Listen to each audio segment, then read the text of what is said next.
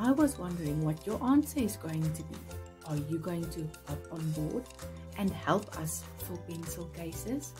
Come on, join the School-A-Friend project and let's go and fill those pencil cases.